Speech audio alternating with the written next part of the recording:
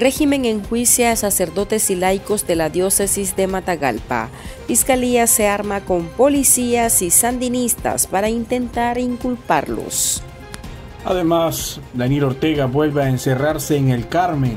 El dictador de Nicaragua no irá a Argentina en ocasión a la cumbre de la CELAC. Y en otras noticias, Dani Alves es trasladado a otra celda. El futbolista brasileño está acusado de agresión sexual. Les traemos los detalles. Bienvenidos al podcast ahora de Artículo 66. Les saluda Marlene Balmaceda. En los micrófonos me acompaña Slish Chica.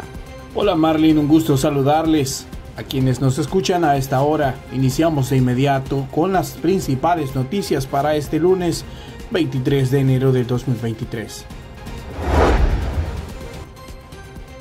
Este lunes, la dictadura de Nicaragua sometió a juicio político a tres sacerdotes, un diácono, dos seminaristas y un camarógrafo de la diócesis de Matagalpa, a quienes el régimen les imputa los supuestos delitos de conspiración y propagación de noticias falsas en perjuicio del Estado.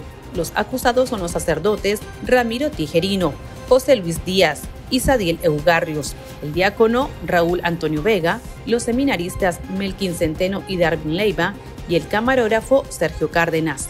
Se trata de los religiosos y laicos que permanecían junto a Monseñor Rolando Álvarez en el interior de la curia episcopal de Matagalpa durante el asedio policial de agosto pasado y que fueron llevados a la cárcel de torturas para presos políticos conocida como el Nuevo Chipote en Managua, luego que la policía los desalojara de manera violenta. El juicio fue realizado a puertas cerradas en el complejo judicial de Managua a cargo de la jueza sandinista Nadia Camila Tardencilla. La fiscalía propuso para declarar en contra de los religiosos a cuatro oficiales de la Dirección de Auxilio Judicial, dos peritos y siete supuestos testigos, entre ellos Nieves Hernández, un católico que rechazó declarar en contra del obispo Rolando Álvarez y demás sacerdotes. Asimismo, Marlin, en la lista de supuestos testigos, también aparece la militante sandinista Bianca Girime Hernández Membreño, quien es señalada de ser la hermana de la joven Suyit Membreño, miembro del coro de la diócesis de Matagalpa, que fue asediada en la cura episcopal junto a Monseñor Álvarez y días después logró salir, mientras el resto de católicos quedaron encerrados. Para el Centro Nicaragüense de Derechos Humanos, CENIT, el proceso judicial contra los religiosos es una infamia. Esto nos comentó la presidenta de la organización, la doctora Vilma Núñez de Escorcia. No consideramos que lo que está pasando y lo que ha pasado durante todas las armas electorales sean juicios verdaderos, juicios apegados a derecho, sino que prácticamente son escenarios donde se criminaliza, donde se tortura a las personas inocentes y se desprecia totalmente el respeto a las leyes y a los derechos humanos en este país. Y estamos expectantes. Sabemos que a última hora han permitido la entrada de sus abogados privados, pero no nos hacemos ninguna expectativa. Es como que si no, por mucho empeño y por mucho que sepan y, y argumenten legalmente a favor de sus defendidos, definitivamente, como te digo allí, no es muy suave llamarles simulaciones. Son prácticamente escenarios de tortura donde ningún argumento vale. Entonces consideramos que en este momento lo que están siendo sometidos a una sesión de tortura más y definitivamente basándonos en los antecedentes y basándonos precisamente en señales macabras que el régimen está dando continuamente. No tenemos mayores expectativas. Sin embargo, seguimos luchando, seguimos demandando Este martes arranca la séptima cumbre de la denominada Comunidad de Estados Latinoamericanos y Caribeños, CELAC, que tendrá como sede por primera vez a Argentina.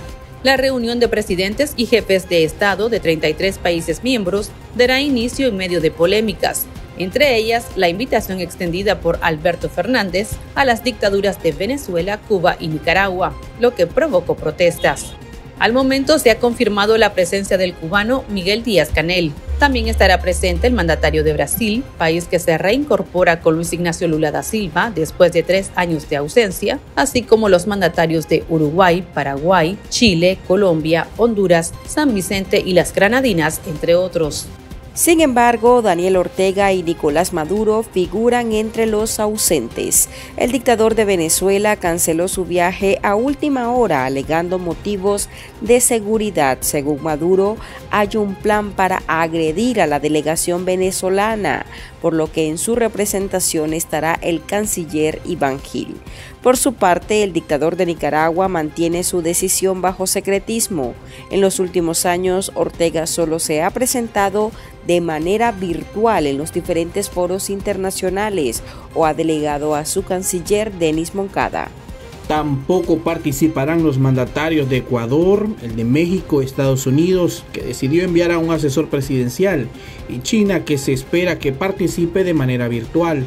Para el ex embajador ante la Organización de Estados Americanos OEA, Arturo Maxfields, la notoria ausencia del dictador de Nicaragua, Daniel Ortega, responde a un pánico de salir de su residencia ubicada en el Carmen, en medio del rechazo de la población nicaragüense y el mundo. Esto comentó. Esta cumbre de las Américas es prácticamente la despedida del presidente Fernández, tratando de hacer un super evento.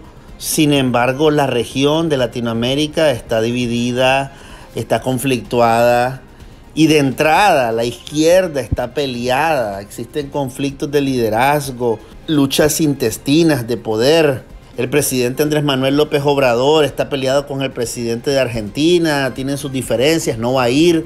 Ortega tiene miedo, tiene una paranoia, no visita ningún país que no sea Cuba o Venezuela.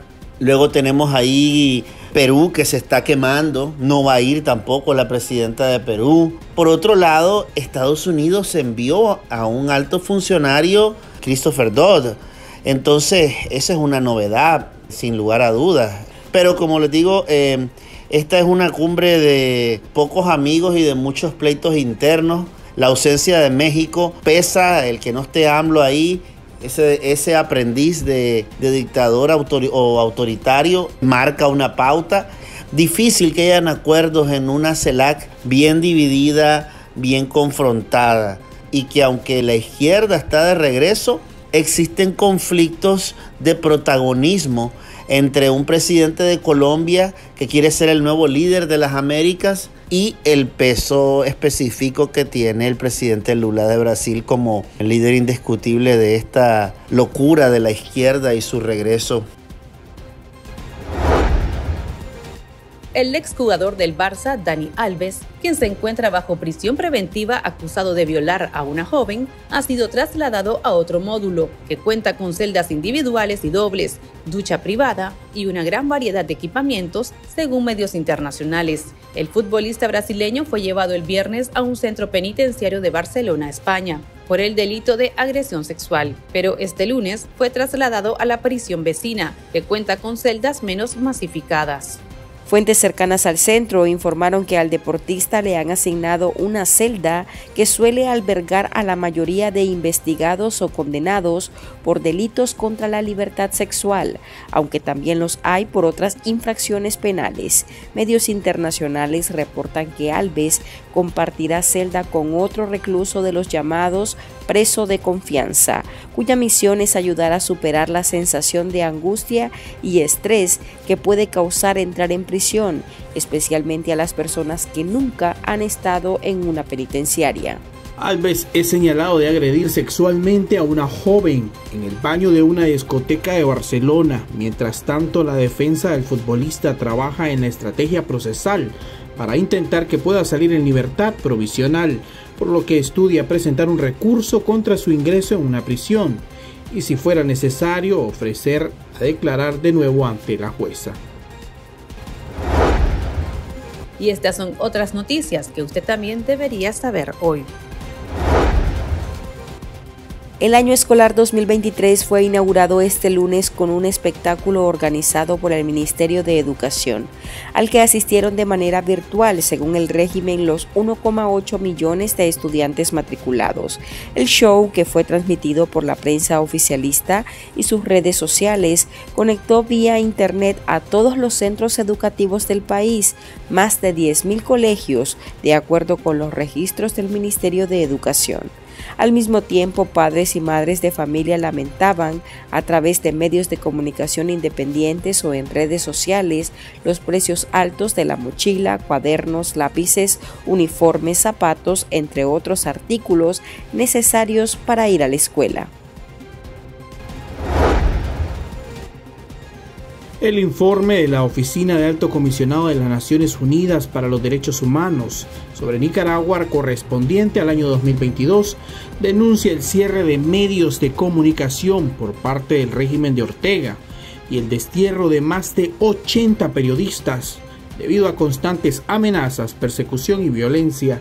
El documento detalla que desde el 2018 hasta inicios del mes de diciembre se contabilizó el exilio de 174 periodistas y trabajadores de la prensa. Solo en 2022 fueron 84, es decir, el 48% del total desde el inicio de la crisis política en Nicaragua. El Instituto Nacional de Información de Desarrollo, INIDE, informó que la canasta básica en Nicaragua alcanzó los 18.982 córdobas al cierre de 2022. Entre enero y diciembre del año pasado, la cesta familiar aumentó más de 2.400 córdobas, es decir, un 14.7%. En contraste, los salarios oscilan entre 4.000 a 10.000 córdobas en promedio. Aquí termina el episodio de este lunes. Recuerde que esta y otras noticias usted las puede leer en nuestra web www.articulo66.com.